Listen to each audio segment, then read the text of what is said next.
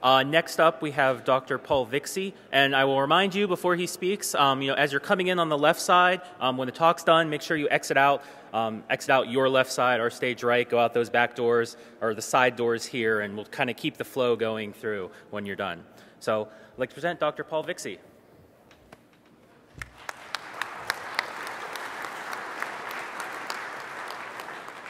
Thank you very much. Thank you for inviting me.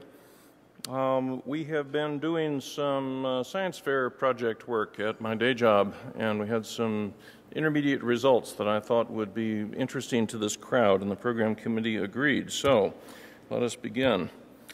Um, front runners are people who are grabbing things uh, that may be valuable to others uh, for the purpose of either hoarding them to drive up the price of other things or uh, just keeping them so that you have to pay them essentially ransom to get it.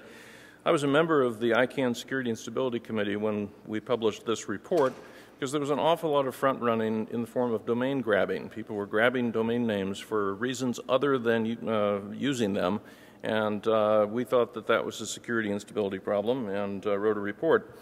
Uh, one of the ways that this manifested was in tasting, domain tasting. It used to be possible within certain limits for some registrant to grab a domain name, keep it for three days, and then return it without owing any money. Uh, and as I say, that's within limits. They had some things they you know, they couldn't do too many per day, and they had to pay for some other number of them, and so forth. But it was basically it was a loophole by which a small number of people were uh, keeping a whole large number of domain names uh, because you could grab the same one 73 hours later and uh, anyway, that was all shut down. ICANN finally did something. They realized uh, that this was bad for the world, and as a 501c3 public charity, they thought that they should help the world in that way. So they, they, they got rid of domain tasting. Um, that does not mean that front running has gone away. So we are a passive DNS company uh, at the moment. We have a lot of other data sources, but we're known for passive DNS and we have a lot of real-time data. And we thought we would take a look at whether the real-time information flowing through the DNS could be of help to somebody who wanted to uh, acquire a domain name for the purpose of then selling it later or maybe collecting traffic because of typo squatting or whatever. Um, now, most of what we do focuses on things that exist, but we do have a channel that uh, just talks about uh, observations of non-existence, which is called NX domain in the uh, in the DNS field. Um, and so, although we don't have a database for that, we do have a very good real-time flow. So, uh, this turned out to be kind of a good way to use our position of observability in the industry to uh, you know, figure out whether this was a problem that we could then bring to the attention of ICANN and others. Um, now, we are not concerned about people who are amateurs at this. If you think of a cool name, uh, a cool domain name, when you're taking a shower or dri- uh, driving on your commute and you go register that, you're not going to cause a problem for anybody. Um, that, I mean, there was a chance to do that 30 years ago. Whoever registered scuba.com probably later sold it for millions, and I can tell you that the guy who registered altavista.com did, in fact, sell it for millions to uh, DEC when they had a search engine by that name. Um, but we're not worried about that um, because it's by definition not scaling. Um, but the professionals who are working at scale uh, are really getting in the way. There, it's inevitable now, if you're going to start a company, that uh, one of the things you'll test for is can I get the .com name? And if you can't get the .com name, chances are you will not choose that name for your company or your product, uh, which means uh, these, these names are very powerful. They are as powerful as an international trademark would be if such a thing existed. Um, and you know wherever there is uh, money to be made, you'll find people looking for the loopholes that will allow some of that money to flow their way.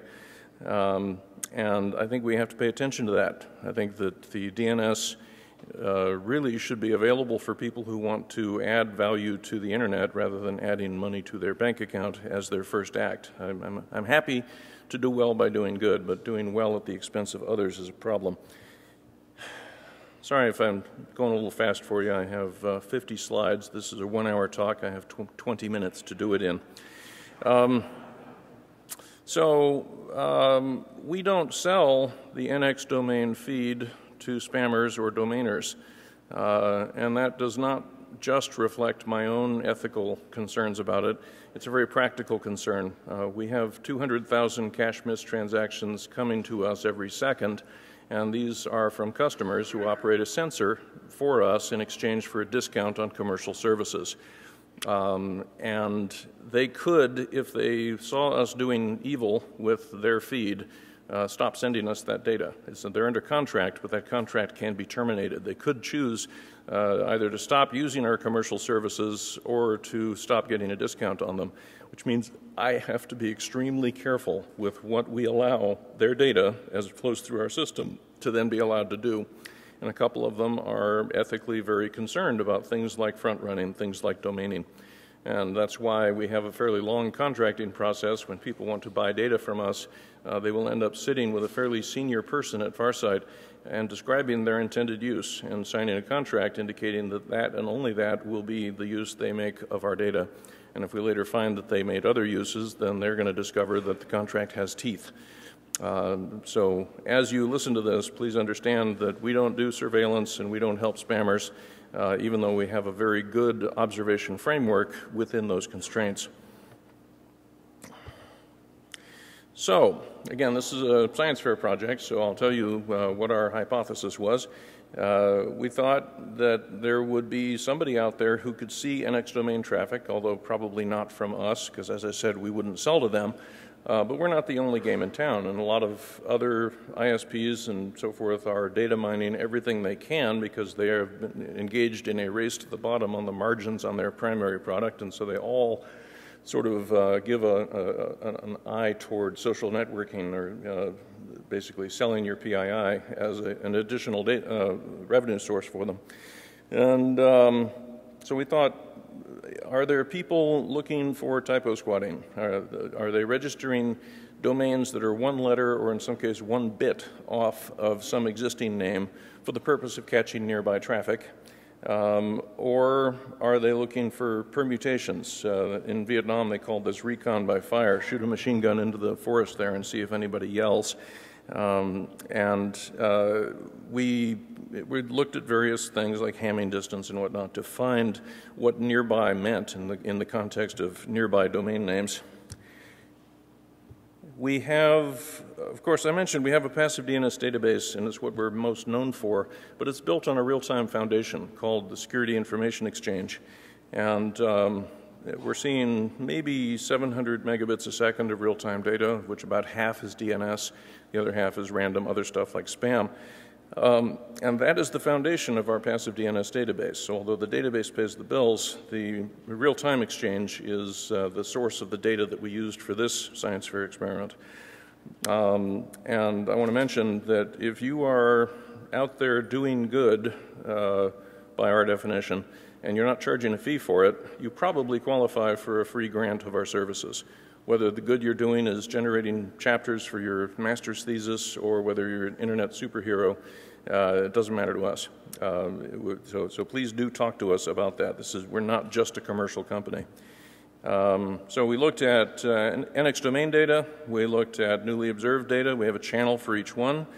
Uh, I've just gotten my five minute warning, believe it or not. So uh, I can't go through these in as much detail as I'd like, but they will be available online. And of course, you all apparently have my email address. Please use it. This is what it looks like on the NX domain channel, broken out into ASCII. So you can see the uh, delegation point there at the end. Um, and that delegation point, nflixvideo.net, is what you would have to register. So that's what concerns us. And the expression of negativity is below that, IP4, 1, lag 0, etc uh, is what didn't exist. Net, NFlixVideo.net very much did exist. Um, and you can see that in Whois, it belongs to Netflix. Uh, the other channel we have is newly observed. They look like this, and you're just seeing the domain, startjobs.xyz in this case. So, um, these are in vastly different volume scales. Uh, it's in 5,000 increments on the top and uh, 2 million on the bottom. So you're seeing a lot more NX domain traffic than you are seeing the uh, uh, newly observed domains. Uh, the stuff that you see as the parent of the things that don't exist is what you'd expect. A lot of people look for non existent IP6.int or non existent spamhaus.org subdomains. Um, we filtered, we did all kinds of stuff. Um, it's a lot of junk, huge amount of junk, bad characters that make it into DNS that shouldn't, or they're just buggy libraries and bug, buggy applications. Um, and what did we find? This is what I really wanted to get to, so I'm going to use my last minute for that. Um, so, there wasn't a huge amount of evidence that uh, NX domain correlates to newly do observed domains. And we think that we can uh, hone this down by doing different science, uh, using slightly different data, and uh, filtering it out in, in, different ways. So we did learn some things that I'm skipping the slides that tell you what we learned. But ultimately, there were only 181 crossovers where something was negative before it was positive. Uh, and out of the size of the data set we had lasting a week, that could easily be uh, completely reasonable people that are just registering stuff that they, uh, they do plan to use. Uh, so in other words, at the moment, we have no evidence that the bad guys are using NX domain to drive their operations. As to whether they should, uh, I'll leave that for them to decide. Uh, if they do, we'll be watching. Um, there was a huge amount of other crud, and I wanted to let you know that uh, turns out NX domain is a great source of DGA intelligence, domain generation algorithm. Uh, botnets that are using the DNS in order to find their command and control use these gibberish domain names uh, that are computed based on the current time of day in order to decide where their command and control is going to be. So you, as the owner of the botnet, need only register one of the ones that your botnet is going to be using tomorrow, and then tomorrow you'll be able to send it commands. But all of them have to do lookups for all of the names that might be used for tomorrow. And so NX domain as a data source, this is something Damballa and David Dagon's team at Georgia Tech told us 10 years ago, and I thought that perhaps that would mean we would have dealt with it by now, but no. According to our, uh, our data, this is very much real. And so my conclusion is, um, well, my conclusion way down at the, oh, wait, excuse me, one more thing. I'm going to go over time. They're going to kill me now. PayPal has a problem. Um, these are all things that had PAYP somewhere in their names. And, um, you know, PayPal is one of my partners, and so I've already informed them of this. But every domain holder, every trademark holder has a problem like this one. Um, and you're going to find these often in the NX domain first because they will be doing re reconnaissance to see if this exists before they try and register it. Um, and again, this is just one trademark. So, um, yeah, here we go. Way too many uh, slides there. Anyway, um, my hope is that NX domain traffic uh, is going to be the next big data mining opportunity. And my hope is that uh, we will somehow keep that data mining from happening on the dark side of the economy and uh, if you are interested in doing science for which you do not charge a fee, you can get an NX domain feed in real time from us. But whatever you do, I hope that you will at least give some consideration to things that don't exist and the implications of that non existence on your security and the security of the internet. Thank you. Do I have a minute for questions? Okay.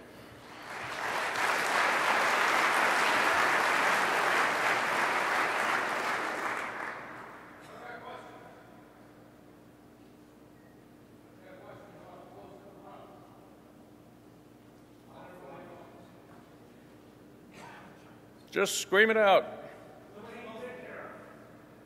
Wait, here we go.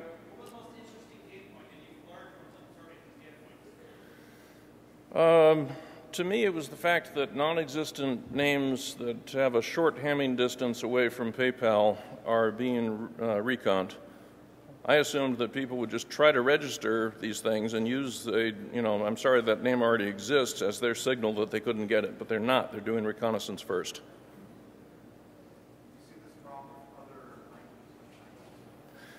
Um, we did not look at, uh, you, you, would have to decode the IDN uh, strings into uh, UTF or you know, something, and uh, our level of processing was command line awk scripts for this. So, no, we did not look at any of the international names for this study. I'll be back probably next year with an update on this that uh, has a lot more detail.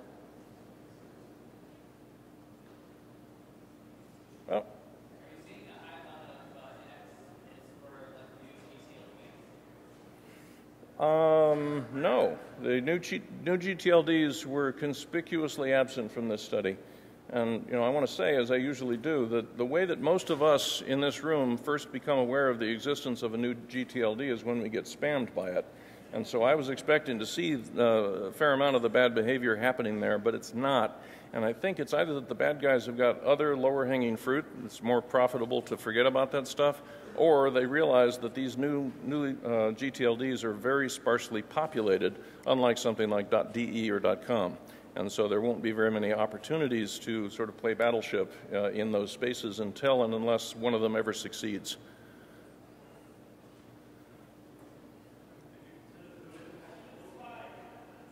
Louder?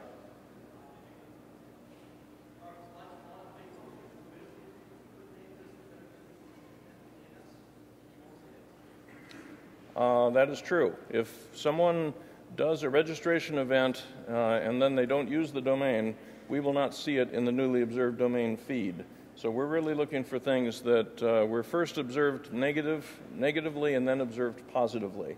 So you could bypass a study like ours with, uh, by simply avoiding DNS queries and doing everything at the registry level.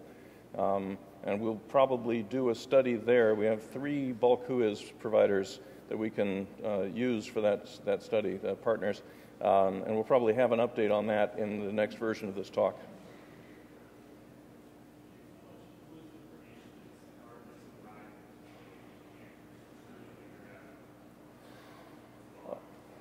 Uh, the question is how much WHOIS information is private, and my answer is um, I estimate that very little of it is private, probably on the order of 10 to 15 percent. Uh, because bad guys would rather use the address that corresponds to the stolen credit card they used to buy the domain because that will help them get in the door in case the WHOIS information is used to validate their, their credit card number. Um, so really the WHOIS privacy tends mostly to be used by uh, people who just don't want to be spammed rather than by people who want to do crime. Uh, that doesn't mean I love WHOIS privacy. I'd like to see it go away, but I, it, I don't think it's the problem that people are worried about.